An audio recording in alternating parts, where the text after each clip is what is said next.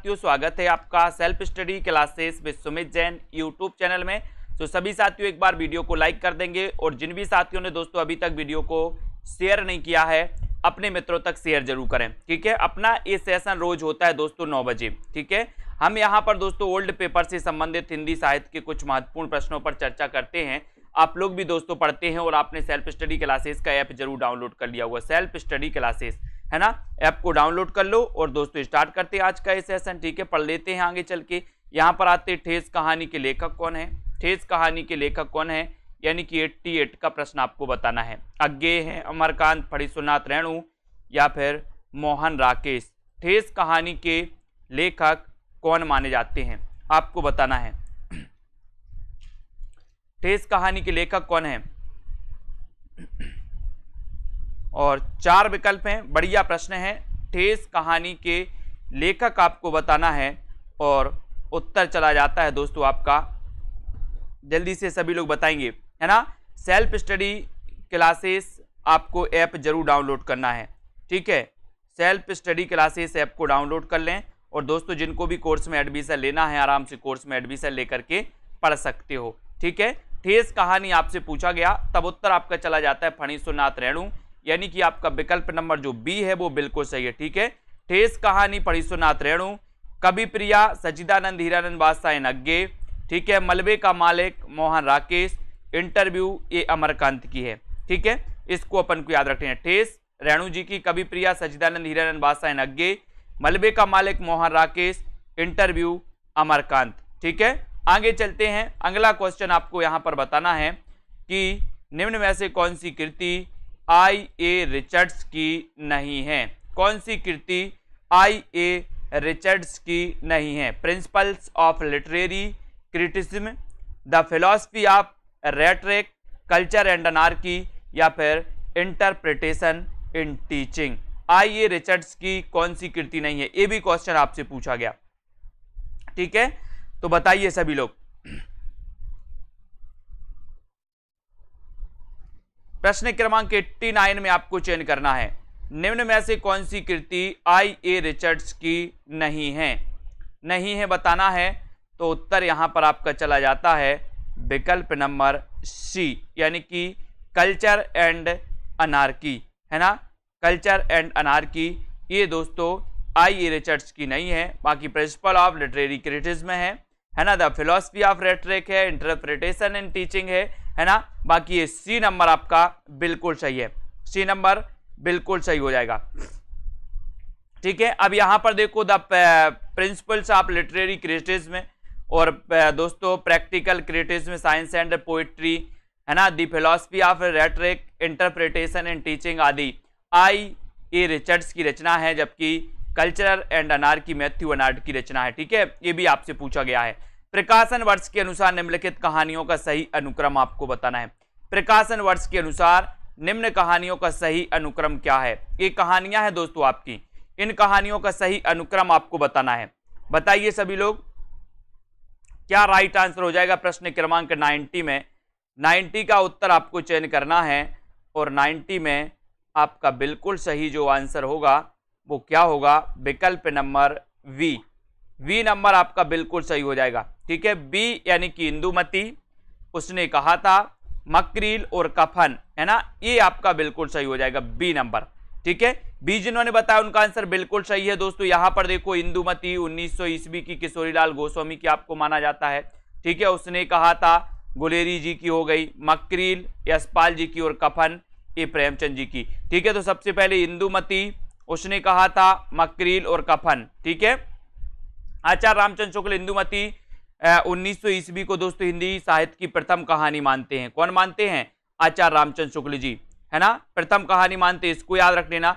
रचना काल के अनुसार कहानी संग्रहों का सही अनुक्रम आपको बताना है तो अपन इसको सीधे सीधे पढ़ेंगे। यहाँ पर आ जाओ, ये देखो, इसको सीधे सीधे पढ़ लो। रचना काल के अनुसार ये तेरे प्रतिरूप दोस्तों अज्ञे जी की, है ना? भूख के दिन यशपाल जी की सतह से उठता आदमी मुक्तिबोध और एक धनी व्यक्ति बयान। ये अमरकांत की। अब यहाँ से आपको रचनाओं को भी पढ़ते जाना है दोस्तों। क्या पढ़ते जाओगे आप? है ना? ये देखो तेरे प्रतिरूप के रचनाकार कौन है? अज्ञे। है ना? भूख के दिन, यशपाल, सतह से उठता आदमी, मुक्तिबोध, इनको अपन को याद करना है। ठीक है, अब यहाँ पर आपको सुमेलित करना है। ये दोस्तों आपके चार विकल्प हैं। सुमेलित करिए यारों की यार मछली मरी हुई, सपाट चेहरे वाला आदमी और कोसी का घटबार। कोसी का घटबार, इनको आपको चयन करना है।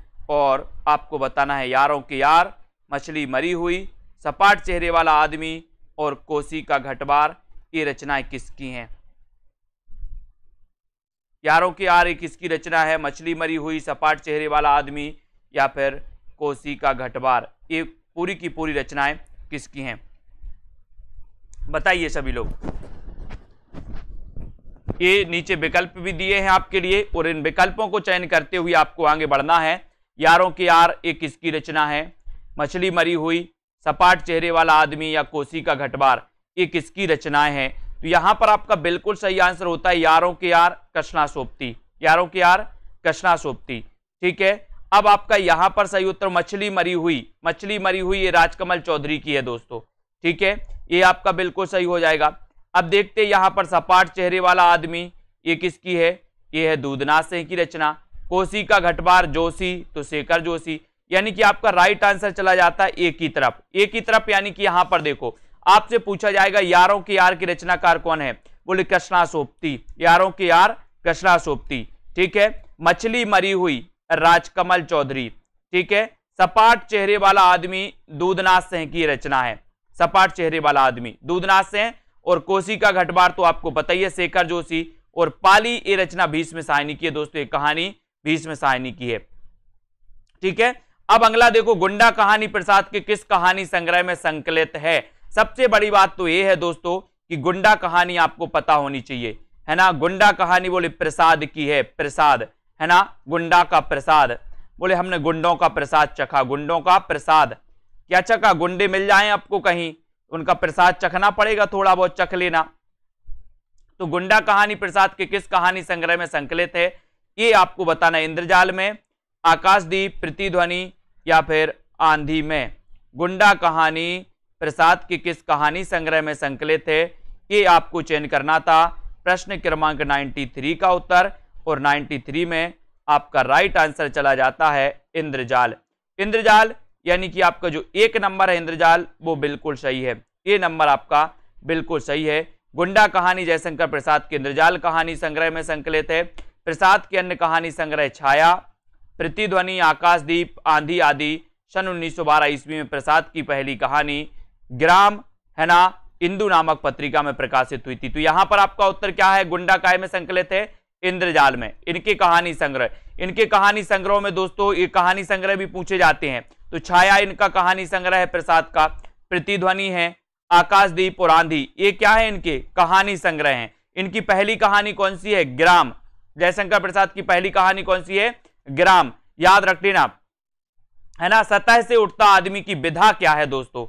सतह से उठता आदमी, बोले सतह से उठ नहीं, उठ जाता है। है ना? तो सतह से उठता आदमी की विधा क्या है? 94 का आंसर आपको बताना है। काव्य, कहानी, नाटक या फिर नाटक काव्य। इसकी विधा क्या मानी जाती है? ये 94 में आपको चयन करना है। सतह से उठता आदमी की विधा क्या है? और 94 का बिल्कुल सही आंसर हो जाएगा दोस्तों। क्या होगा? उत्तर चला जाएगा कहानी। कहानी यानी कि बी नंबर बी आपका बिल्कुल सही है। सतह से उठता आदमी की विदा है, कहानी, और बी आपका राइट आंसर चला जाएगा। ठीक है? बी नंबर बहुत बढ़िया। सभी लोगों ने बिल्कुल सही आंसर बताया है। अगले क्वेश्चन की ओर हम चलेंगे दोस्तों। अगला क्वेश्चन यहाँ पर देखते हैं। समानांतर कहानी की पुरस्कर्ता कमलेश्वर का मूल नाम क्या है? बहुत बढ़िया क्वेश्चन है दोस्तों। कमलेश्वर, ये आप अपन ने अपन ने पढ़ा था कि समानांतर कहानी आंदोलन का आंदोलन के जो प्रारंभकर्ता माने जाते हैं, वो कौन माने जाते हैं? वो माने जाते हैं दोस्तों कमलेश्वर। अब कमलेश्वर का मूल नाम क्या है, ये आपको बताना है। तो सभी लोग बताइए, कमलेश्वर का मूल नाम क्या है? नीरज सक्सेना, कैलाश सक्सेना गोपाल दास सक्सेना या फिर प्रभाकर सक्सेना? यानी कि 95 का उत्तर। समानांतर, समांतर सॉरी समांतर कहानी, है ना? समांतर कहानी सभी लोग बताएँगे। समांतर कहानी की पुरस्कर्ता कमलेश्वर का मूल नाम बताना है और मूल नाम आपसे पूछा गया। तो याद रख लेना, कैलाश सक्सेना नहीं, नीरज सक्सेना नीरज सक्सेना, है ना? कमलेश्वर का मूल नाम था नीरज सक्सेना, ठीक है? समांतर कहानी आंदोलन कहानी आंदोलन की प्रतिक्रिया के स्वरूप हुआ था। और दोस्तों, ये नीरज सक्सेना इनका मूल नाम था, यानी कि पूरा नाम था। ठीक है? तो ये नंबर आपका बिल्कुल सही है। आ कहानी आंदोलन का निर्मल वर्मा ने प्रारंभ किया था, दोस्तों। आ कहानी आंदोलन अपन पढ़ते थे, किसने किया था? निर्मल वर्मा ने किया था क्या आ कहानी आंदोलन को? आ कहानी आंदोलन के प्रवर्तक कौन माने जाते हैं? बताइए सभी लोग। आ कहानी आंदोलन के प्रवर्तक कौन माने जाते हैं? आ कहानी आंदोलन के प्रवर्तक कौन माने जाते हैं? आ कहानी आंदोलन। आ, बताइए। है ना? यहाँ पर थोड़ा सा मिसपेंट बताओ।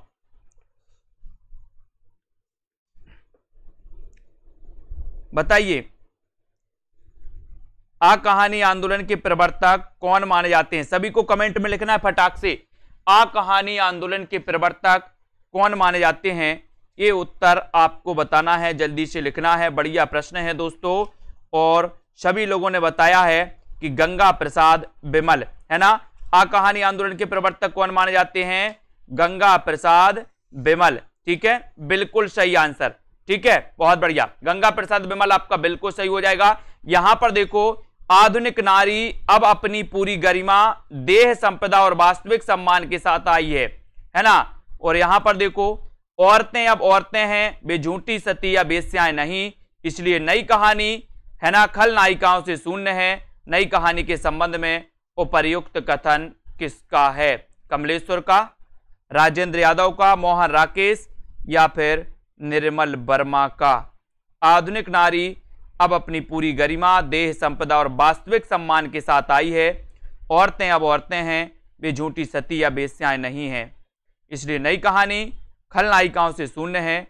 नई कहानी के संबंध में उपर्युक्त कथन किसका है? उपर्युक्त कथन किसका है? 96 का उत्तर आपको बताना है। और 96 में उपर्युक्त कथन की अगर हम बात करेंगे तो उपर्युक्त कथन है कमलेश्वर का। किसका है? कमलेश्वर का। ठीक है? ये नंबर आपका बिल्कुल सही है, जो आपने बताया राइट आंसर बताया है। ठीक है? अब यहाँ पर दोस्तों बारेन हेस्टिंग्स का साण बहुत बढ़िया प्रश्न है। बारेन हेस्टिंग्स का साण शीर्षक कहानी के लेखक कौन है?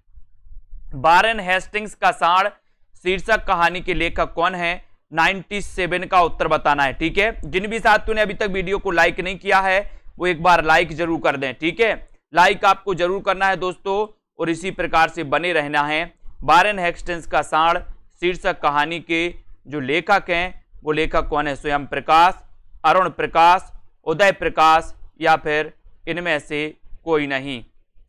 चयन करिए सभी लोग।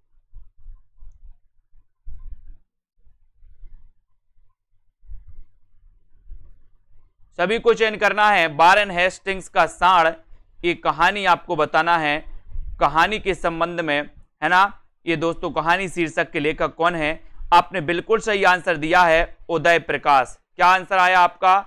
उदय प्रकाश, जो बिल्कुल सही आंसर है। ठीक है? बहुत बढ़िया। चलिए, देखते हैं अगला प्रश्न यहाँ पर देखें दोस्तों। बारन हेस्टिंग्स का साण शीर्षक कहानी के लेखक उदय प्रकाश हैं। ठीक है? उदय प्रकाश या अन्य रचनाओं में त्रिच त्रिच इनकी रचना कई बार पूछी गई है। तो त्रिच भी आपको याद रख लेना दोस्तों। त्रिच भी इनकी रचना पूछी जाती है। दरियाई घोड़ा, दत्तात्रेय का दुख, ठीक है? पाल गुमरा का स्कूटर मोहनदास पीली छतरी वाली लड़की, जो कि कई बार पूछा गया। पीली छतरी वाली लड़की के लेखक कौन है, ऐसा कई बार पूछा गया। तो ये उदय प्रकाश की जितनी भी कहानियाँ हैं दोस्तों, चाहे वो पाल गोमरा का स्कूटर हो, चाहे मोहनदास हो, चाहे पीली छतरी वाली लड़की हो, दत्तात्रेय का दुख या फिर त्रिच या दरियाई घोड़ा, इन सारी की सारी रचनाओं को, इन कहानियों को आपको याद करना है। अगला क्वेश्चन है नाइनटी एटवा क्वेश्चन है आपका, तीसरी कसम फ़िल्म किस लेखक की कहानी पर बनाई गई? बताना है। किस लेखक की कहानी पर तीसरी कसम फ़िल्म बनी थी? प्रश्न क्रमांक 98 98 में आपको चयन करना है। वीडियो को एक बार सभी लोग लाइक कर देंगे और दोस्तों, इसी प्रकार से आगे बढ़ते जाइए। चलिए, तीसरी कसम फ़िल्म किस कहानी? तीसरी कसम फ़िल्म किस कहानी? किस लेखक की कहानी पर बनाई गई? और आपने उत्तर लगाया है विकल्प नंबर बी, यानी कि फणीश्वरनाथ रेणु। है ना? ये क्या माने जाते हैं दोस्तों? आंचलिक उपन्यासकार माने जाते हैं रेणु जी। है ना? इनका प्रथम मेला आंचल जो है, हिंदी का प्रथम आंचलिक उपन्यास भी माना जाता है। किसका? रेणु जी का। इसको अपन को याद करना है। यहाँ पर आते हैं तीसरी कसम फ़िल्म फणीसुनाथ रेणु की इसी नाम की कहानी तीसरी कसम उर्फ़ मारे गए गुलफाम के ऊपर बनाई गई। रेणु की अन्य कहानियाँ रसप्रिया, ठुमरी, अग्निखोर, आदिम रात्रि की महक, ये मानी जाती हैं। प्रेमचंद की अंतिम कहानी कौन सी थी? प्रेमचंद की अंतिम कहानी आपको बताना ईदगाह, कफन, ठाकुर का कुआँ या फिर बड़े घर की बेटी। प्रेमचंद की अंतिम कहानी कौन सी थी? प्रेमचंद की अंतिम कहानी कौन सी थी? ये आपको बताना है और 99 का उत्तर बताना है आपको। प्रेमचंद की अंतिम कहानी कौन सी थी? और प्रेमचंद की अंतिम कहानी की जब बात आई तो उत्तर चला जाता है कफन। कफन यानी कि बी नंबर। ये इनकी अंतिम कहानी थी दोस्तों 1936 की, है ना? और विश्व स्तर के महान उपन्यासकार और कहानीकार थे दोस्तों प्रेमचंद जी। और प्रमुख कहानियों की इनकी बात करें तो ईदगाह ठाकुर का कुआँ, है ना? बड़े घर की बेटी, शतरंज के खिलाड़ी, नमक का दरोगा, दो बैलों की कथा और पूस की रात, ये माने जाते हैं ठीक है? आलसियों का कोड़ा किसकी रचना है? आलसियों का कोड़ा किसकी रचना है? लल्लू लाल की, मुंशी सदा सुखलाल, सदल मिश्र या फिर सितारे हिंद? जल्दी से बताना है, सौ का आंसर आप लोग बताएँगे। आलसियों का कोड़ा किसकी रचना है? प्रश्न क्रमांक हंड्रेड का बताते चलें अभी। आलसियों का कोड़ा एक किसकी रचना है?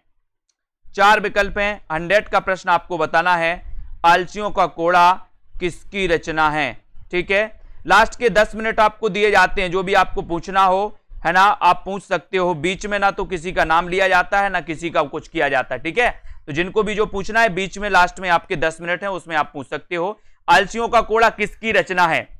आलसियों का कोड़ा, ये किसकी रचना है? और आपने बिल्कुल सही आंसर लगाया, सितारे हिंद।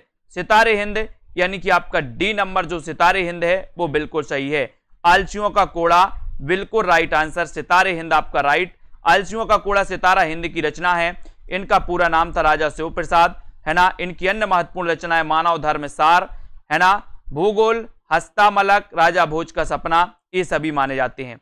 ठीक है? हत्या नामक हत्या नामक कहानी के लेखक हैं तो कौन है? सभी लोगों को बताना है, बताइए।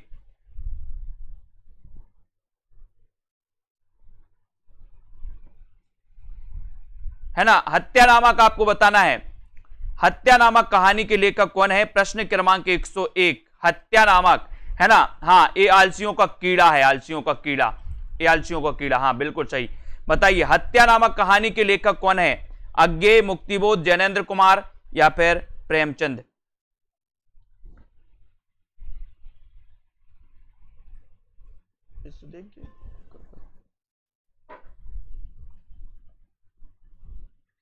कूलर बंद कर दिए आलसियों का कोड़ा सितारे आलसियों की कीड़ा आलसियों का कीड़ा है ना? ये सितारे हिंदी की रचना है और हत्या नामक कहानी के लेखक हैं दोस्तों जैनेन्द्र कुमार। यानी कि आपका उत्तर चला जाता है जैनेन्द्र कुमार की ओर बी नंबर आपका सही है। जैनेन्द्र प्रेमचंदोत्तर हिंदी कथा साहित्य के प्रमुख लेखक हैं। जैनेन्द्र द्वारा लिखी गई प्रसिद्ध कहानियाँ हत्या, खेल, फोटोग्राफी, अपना अपना भाग, बाहुबली, बाताएँ, नीलम देश की राजकन्या, एक दिन, स्पर्धा, पत्नी, एक कैदी, लाल सरोवर, मास्टर जी तथा भाभी। कूलर बंद करता हूँ। भाभी, इनको याद रख लेना, ठीक है? प्रेमचंद की बात करें तो प्रेमचंद द्वारा लिखी गई कहानियों में दोस्तों कफन, ईदगाह, ठाकुर का कुआँ, है ना, नमक का दरोगा, नशा, पूस की रात, सदगति, बूढ़ी, काकी आदि, है ना, प्रयोगवादी कवि अज्ञे द्वारा लिखी गई कहानियों में त्रिपथगा, रोज रोज भी आपको याद रख लेना है, ठीक है, हर सिंगार, रेल की सीटी, कवि प्रिया, मेजर चौधरी, रमनते तत्र देवता और नारंगिया, मनसो और पठार का धीरज, ये भी आपको याद रख लेना, ठीक है? प्रेमचंद उर्दू में किस नाम से लिखते थे?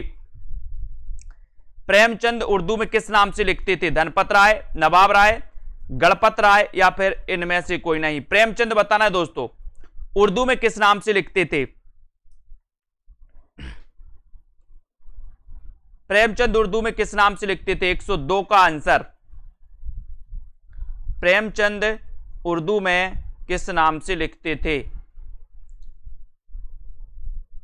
और लगभग सभी को पता है कि जो प्रेमचंद का वास्तविक नाम था वो तो धनपत राय था, लेकिन उर्दू की अगर बात करें तो उर्दू में नवाब राय नाम से लिखते थे। क्या नाम से?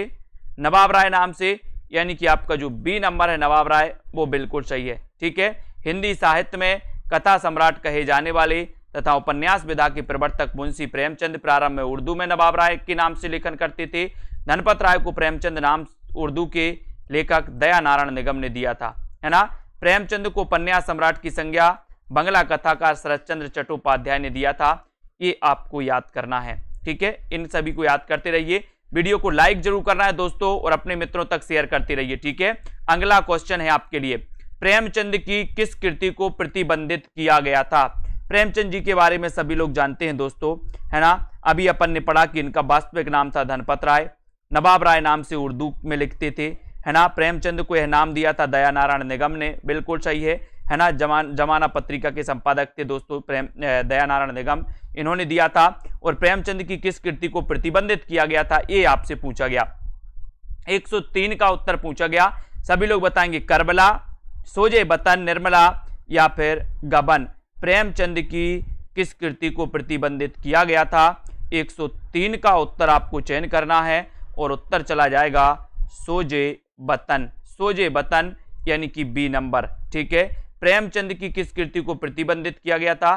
तो वो किया गया था सोजे बतन को। हिंदी के कथा सम्राट, प्रेमचंद की कहानी संग्रह सोजे बतन को अंग्रेज़ी सरकार ने प्रतिबंधित करके जब्त कर दिया, है ना? सोजे बतन में पाँच कहानी संकलित थी दोस्तों। इसके दुनिया, होब्बे बतन, है ना? सांसारिक प्रेम और देश प्रेम, ठीक है?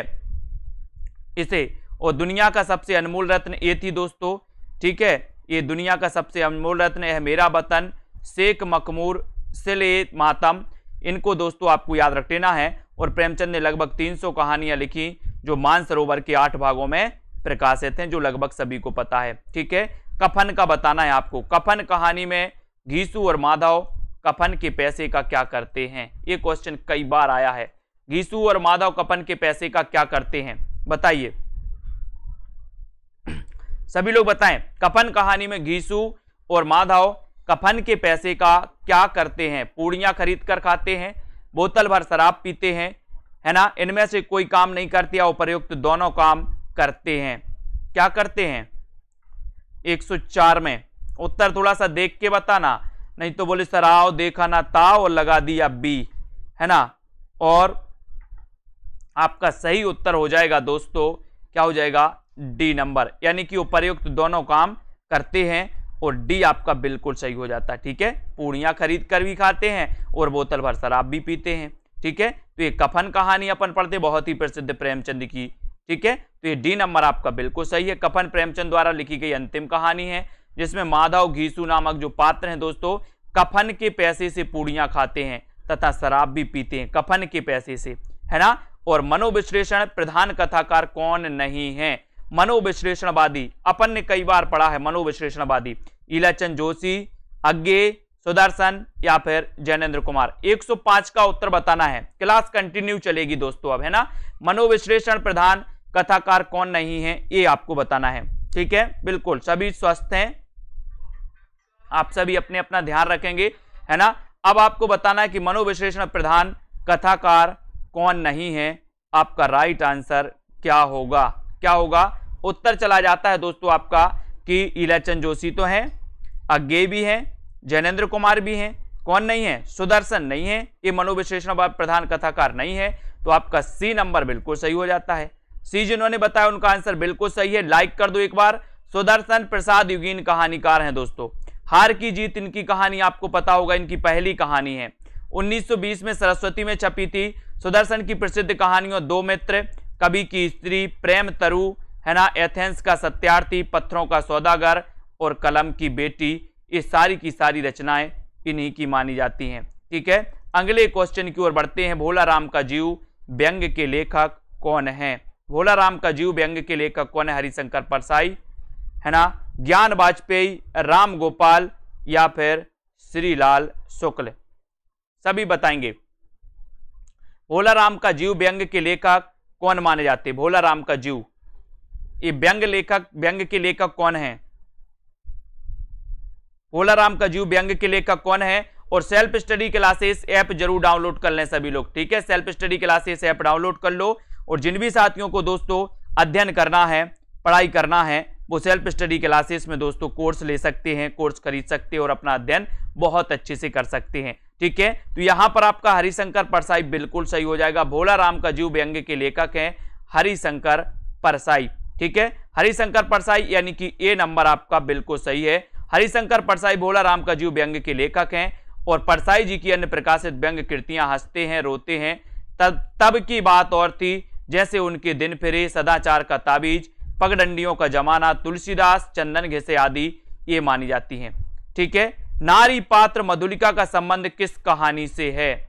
नारी पात्र मधुलिका का संबंध किस कहानी, किस मधुलिका का संबंध किस कहानी से है?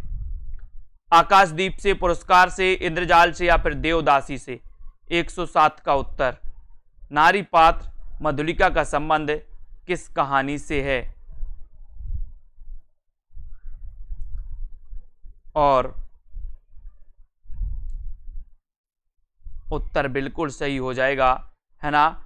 ये नारी पात्र मधुलिका का संबंध जो है, ये है पुरस्कार से। पुरस्कार यानी कि बी नंबर ठीक है? बी आपका बिल्कुल सही है, ठीक है? मधुलिका का संबंध किससे है? पुरस्कार से, और बी आपका राइट आंसर चला जाता है, ठीक है? बी नंबर जिन्होंने बताया, उनका आंसर बिल्कुल सही है। और दोस्तों, अब देखते हैं कुछ और प्रश्नों पर हम चर्चा करते यहाँ पर आ जाते हैं पुरस्कार जयशंकर प्रसाद की महत्वपूर्ण कहानी है। और इसी कहानी की पात्र है मधुलिका। ठीक है? मधुलिका है, आपको एक क्वेश्चन दिया जाता है, जल्दी से बताना। जयशंकर प्रसाद का जन्म कब हुआ था? जयशंकर प्रसाद का जन्म कब हुआ था? बताइए सभी लोग। जयशंकर प्रसाद का जन्म कब हुआ था?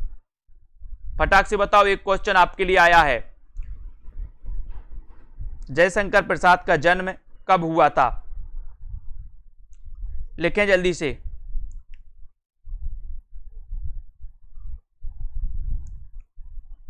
और जयशंकर प्रसाद का जन्म कब हुआ था, ये आपको बताना है। बताइए किस किस को पता है। और बिल्कुल सही आंसर आया है कि, है ना, जयशंकर प्रसाद का जो जन्म हुआ था, वो हुआ था अठारह सौ नवासी में। अठारह सौ नवासी आपका बिल्कुल सही आंसर है। वेरी गुड नई कहानी आंदोलन के प्रमुख कहानीकार कौन हैं? नई कहानी आंदोलन के प्रमुख कहानीकार कौन माने जाते हैं? नई कहानी, आंदोलन के प्रमुख कहानीकार कौन माने जाते हैं? मोहन राकेश, यशपाल जैनेन्द्र कुमार या फिर दोस्तों, ईला चंद्र जोशी? नई कहानी, आंदोलन के प्रमुख कहानीकार कौन है? ये आपसे पूछा गया था और आपने बताया है आंसर कि सर, नई कहानी, आंदोलन की अगर बात करोगे तो उत्तर लगाएँगे हम काय में? प्रमुख जो कहानीकार माने जाते हैं, वो माने जाते हैं दोस्तों मोहन राकेश। मोहन राकेश आपका बिल्कुल सही आंसर है, ठीक है? नई कहानी आंदोलन के प्रमुख कहानीकार हैं मोहन राकेश और ये नंबर जो है आपका, वो बिल्कुल सही है। ये आपका राइट आंसर है। मोहन राकेश आपका बिल्कुल सही आंसर हो जाएगा, ठीक है? अगला देखो, प्रस्तुत विकल्पों में नई कहानी आंदोलन के प्रमुख कहानीकार मोहन राकेश हैं। इसको अपन को याद रख लेना है। ठीक। है ना? तो यहाँ पर देख ली, मोहन राकेश की नई कहानी के प्रमुख कहानीकार निम्नलिखित मोहन राकेश, कमलेश्वर, धर्मवीर भारती, है ना? राजकमल चौधरी, निर्मल वर्मा, ये सभी माने जाते हैं। ठीक है? अगला है हिंदी की प्रसिद्ध कहानी कसाई बाड़ा के लेखक कौन है? हिंदी की प्रसिद्ध कहानी कसाई बाड़ा के लेखक कौन है? ओम प्रकाश वाल्मीकि, कमल भारती, शिव मूर्ति या फिर शिवराज सिंह बेचैन। हिंदी की प्रसिद्ध कहानी कसाई बाड़ा के लेखक कौन माने जाते हैं? हिंदी की प्रसिद्ध कहानी कसाई बाड़ा के लेखक आपको बताना है और आपका राइट आंसर चला जाता है साथियों। हिंदी की प्रसिद्ध कहानी कसाईवाड़ा और कसाईवाड़ा के लेखक हैं शिव मूर्ति कौन है? शिव मूर्ति यानी कि आपका उत्तर सी बिल्कुल सही है। ठीक है? सी नंबर आपका सही है। हिंदी की प्रसिद्ध कहानी कसाईवाड़ा के लेखक शिव मूर्ति हैं और इनकी अन्य रचना है केसर कस्तूरी। केसर कस्तूरी भी है, ठीक है? कौन सी हिंदी की पहली कहानी मानी जाती है? आपको बताना है, हिंदी की पहली कहानी कौन सी मानी जाती है? हिंदूमती ग्यारह वर्ष का समय, दुलाई वाली या फिर इनमें से कोई नहीं। कौन सी हिंदी की पहली कहानी मानी जाती है? 110 का उत्तर आपको चयन करना है। हिंदी की पहली कहानी कौन सी मानी जाती है? चार विकल्प हैं। चार में से आपको चयन करना है। हिंदी की पहली कहानी बताना है और राइट आंसर चला जाएगा दोस्तों आपका क्या? विकल्प नंबर एक, यानी कि इंदुमती। अब इंदुमती के रचनाकार कौन है? तो किशोरी लाल गोस्वामी। किशोरी लाल गोस्वामी, इंदुमती को दोस्तों, है ना? ये आपको याद रख लेना, हिंदी साहित्य की प्रथम कहानी मानते हैं। ग्यारह वर्ष का समय आचार्य रामचंद्र शुक्ल की कहानी है तथा दुलाई वाली 1907 राजेंद्र वाला घोष ठीक है बंग महिला की कहानी है। इंदुमती को मौलिक कहानी न मानकर शेक्सपियर के नाटक टेम्पेस्ट का क्या माना जाता है? छायानुवाद माना जाता है। ठीक है, इनको भी याद रखना है। अब अगला क्वेश्चन है दोस्तों बंग महिला का असली नाम क्या था? ये तो कई बार पूछा गया। बंग महिला का असली नाम क्या था? बंग महिला का असली नाम क्या था? मामुनी, विद्यावती, राजेंद्र बाला घोष या फिर रामेश्वरी देवी। बंग महिला का असली नाम क्या था? बंग महिला का असली नाम क्या था? और उत्तर आपका बिल्कुल सही चला जाता है कि बंग महिला का जो असली नाम था, वो नाम था दोस्तों राजेंद्र बाला घोष। राजेंद्र बाला घोष, यानी कि आपका बी नंबर जो है, वो बिल्कुल सही है। राजेंद्र बाला घोष आपका बी सही है। बंग महिला का असली नाम राजेंद्र बाला घोष था और ये मिर्जापुर निवासी बाबू पूर्णचंद की धर्मपत्नी थी, है ना? राजेंद्र बाला घोष बंग महिला को हिंदी की प्रथम कहानी लेखिका स्वीकार किया जाता है और इनके द्वारा रचित कहानियाँ हैं चंद्रदेव से मेरी बातें, कुंभ में छोटी बहू दुलाई वाली और दालिया। ये मानी जाती है, ठीक है? सभी को बिल्कुल सही आंसर आया है। अब दोस्तों, हम यहाँ पर थोड़े से क्वेश्चन और आपसे पूछेंगे, ठीक है? सभी लोग बताना, बढ़िया तरीके से दोस्तों चार पाँच क्वेश्चन आपसे पूछे जा रहे हैं। लाइक ज़रूर कर देना जिन भी साथियों ने अभी तक सेल्फ स्टडी क्लासेस का ऐप डाउनलोड नहीं किया दोस्तों। तो ये सेल्फ स्टडी क्लासेस का ऐप है। ऐप ज़रूर डाउनलोड कर लेंगे सभी लोग, ठीक है? जिन्होंने नहीं किया, वो ऐप को ज़रूर डाउनलोड करेंगे। अब दोस्तों, आपको बताना है, साधना गद्य काव्य के लेखक कौन है? साधना गद्य काव्य के लेखक कौन है? जल्दी से बताइए। साधना गद्य काव्य के लेखक कौन है? पहला प्रश्न आपके लिए, है ना? बिल्कुल, ठीक है? साधना गद्य काव्य के लेखक कौन है? सभी को बताना है। साधना गद्य काव्य के लेखक कौन है?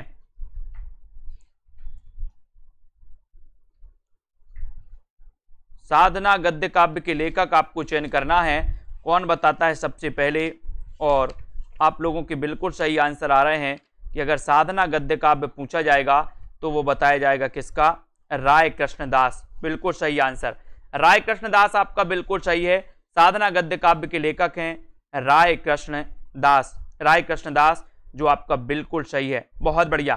ठीक है? जूठन किसकी आत्मकथा है? जूठन किसकी आत्मकथा है? अगला क्वेश्चन आपके लिए। जूठन किसकी आत्मकथा है? जूठन आत्मकथा के लेखक कौन है? जूठन आत्मकथा के लेखक कौन है? और फटाफट से उत्तर आनी चाहिए। लाइक ज़रूर कर दिया सभी लोगों ने। जूठन आत्मकथा के लेखक कौन माने जाते हैं? और उत्तर आपका चला जाता है। जूठन आत्मकथा है। किसकी? बताइए, किसी ने नहीं बताया अभी तक। ओम प्रकाश वाल्मीकि।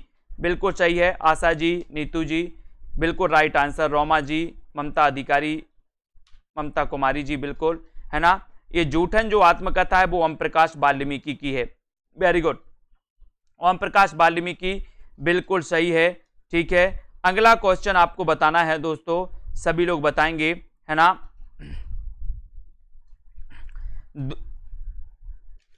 सभी लोग बताना है, अगला जो क्वेश्चन है, जाति आरक्षण। जाति आरक्षण आत्मकथा किसकी है? जाति आरक्षण आत्मकथा के लेखक कौन है? जाति आरक्षण। जाति आरक्षण आत्मकथा के लेखक कौन है? सबसे पहले कौन बताता है? देखते हैं। जाति आरक्षण जाति आरक्षण, आत्मकथा के लेखक कौन है? है ना, क्या बताना है रमन जी?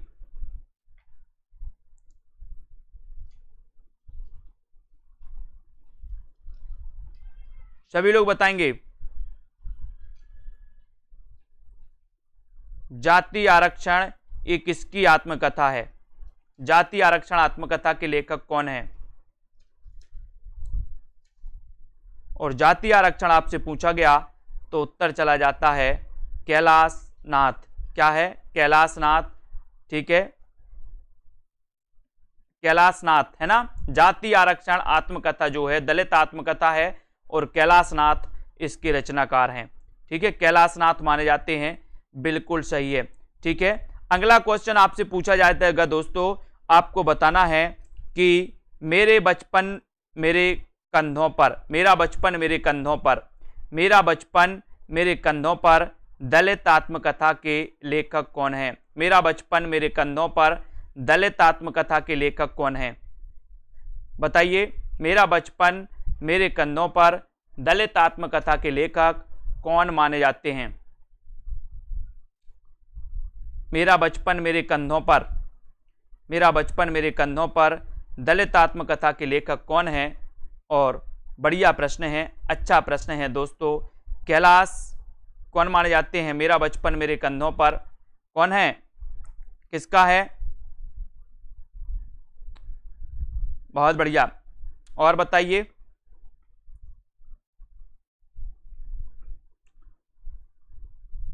क्लास का टाइम नौ बजे, रोज नौ बजे होती है है ना? शिवराज सिंह बेचैन शिवराज सिंह बेचैन की आत्मकथा है दोस्तों, मेरा बचपन मेरे कंधों पर, मेरा बचपन मेरे कंधों पर, ठीक है? बूंद बाबड़ी आत्मकथा किसकी है? बूंद बाबड़ी। बूंद बाबड़ी आत्मकथा के लेखक कौन है? लेखिका कौन है? बूंद बाबड़ी आत्मकथा किसकी है? बूंद बाबड़ी आत्मकथा ये किसकी मानी जाती है? सभी लोग सेल्फ स्टडी क्लासेस का ऐप ज़रूर डाउनलोड कर लें और बूंद बाबड़ी बूंद बाबड़ी आत्मकथा के जो लेखक माने जाते हैं, लेखिका मानी जाती हैं, वो कौन मानी जाती हैं? बताइए, जल्दी से और उत्तर चला जाता है दोस्तों, पद्मा सचदेवा। बूंद बाबड़ी, आत्मकथा किसकी है? पद्मा सचदेवा की। किसकी है? पद्मा सचदेवा की, जो बिल्कुल सही आंसर है। पद्मा सचदेवा बिल्कुल सही है। ठीक है? बहुत बढ़िया। है ना? बहुत बढ़िया। सभी लोगों ने बहुत अच्छे से बताया है दोस्तों। वीडियो को सभी लोग लाइक ज़रूर करें दोस्तों। इसी प्रकार से तैयारी करते रहें और आगे बढ़ते रहें, ठीक है? अध्ययन ज़रूर आपको करना है है ना? और दोस्तों, जिनको भी सेल्फ स्टडी क्लासेस का ऐप डाउनलोड करना है, वो ऐप को ज़रूर डाउनलोड कर लें, ठीक है? और इसी प्रकार से अध्ययन करें, ठीक है? बिल्कुल है है ना? ठीक है? तो वीडियो को लाइक और शेयर करें। सेल्फ स्टडी क्लासेस का ऐप को ज़रूर डाउनलोड करना है है ना?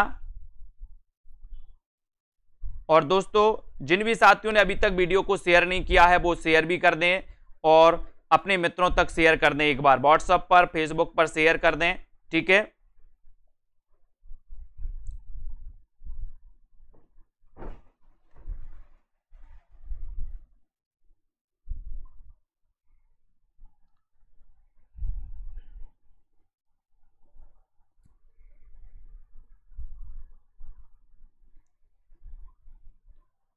ठीक है? और ये दोस्तों सेल्फ स्टडी क्लासेस का ये ऐप है, इसी प्रकार से जुड़ते रहें, ठीक है?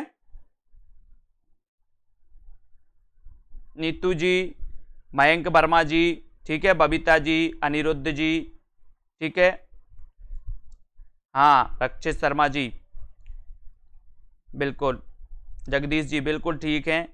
बिल्कुल सही है सही है, बिल्कुल, बहुत बढ़िया। दारसू जी, बिल्कुल राइट है। रेखा त्रिपाठी विशाल जी, है ना? विशाल जी, क्या पूछ रहे विशाल जी? शंभूक हत्या है ना? नरेंद्र कोहली जी का नाटक माना जाता है शंभूक हत्या है ना? अरुण राजपूत जी, ललिता जी, प्रमोद जी, मनीषा गिल जी, गीतिका, रेखा, अनीता, मोहम्मद ठीक है? कविता यादव जी ठीक हैं अब। अर्शदीप जी, अनुराग जी, अर्चना, कमला जी, मुकनत, अजित जी, राहुल जी, बबीता, आर जी, अजित जी। संबुक की हत्या नाटक है, नाटक, नरेंद्र कोहली। अरुण राजपूत जी, दुर्गेश जी, प्रदीप जी शैलेश कुमार जी। ठीक है? साथियों, इसी प्रकार से जुड़े रहें। जिन भी साथियों को, दोस्तों, क्या करना है है ना?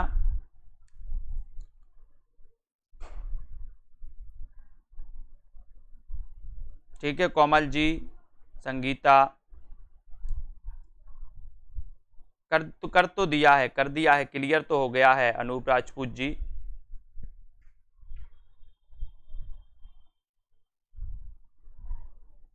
अभी तो यही चलेगा पार्ट वाइज चलेगा, कहानी चलेंगे, है ना? कोमल शर्मा जी ठीक है, जसवंत जी, सोनू सिंह जी।